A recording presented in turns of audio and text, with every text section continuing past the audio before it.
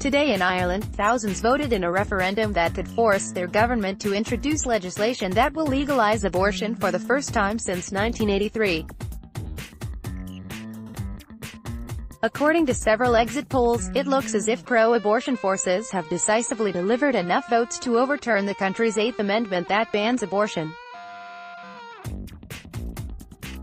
As previously noted on Townhall, the Irish referendum is on Article 40.3.3, better known as Ireland's Eighth Amendment. This grants unborn babies as much of an equal right to life as the mother.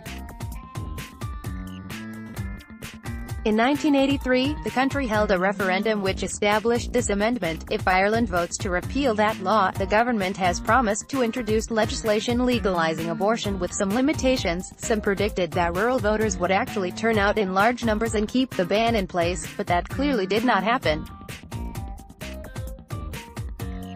After polls closed today, Raidió Teilifís Éireann, Ireland's national public service multimedia organisation, said exit polls indicate that the Yes voters has won by a margin of 69.4% to 30.6%. Root exit poll on the Eighth Amendment projects, Yes 69.4%, No 30.6%. Root at RT, May 25, 2018 Another exit poll conducted by the Irish Times reinforced this prediction with estimates at 68% in favour appeal to 32% against Exit polls also indicated that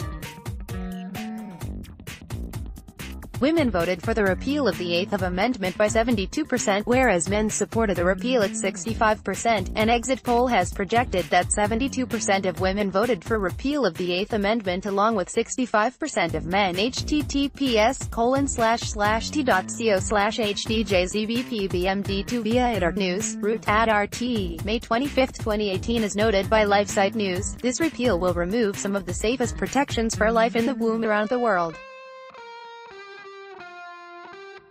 For decades, the Eighth Amendment has protected unborn babies and mothers equally in Ireland by recognising that both are valuable human beings who deserve a right to life. More than 100,000 Irish unborn babies and mothers have been spared from the pain and death of abortion, thanks to the constitutional protection, writes Life site Steven Ertelt. If today's exit polls hold true, it indicates a seismic shift in the opinions of Irish voters. In 1983 when the Eighth Amendment was originally introduced, 67% of Irish voters were in favor of the ban on abortion.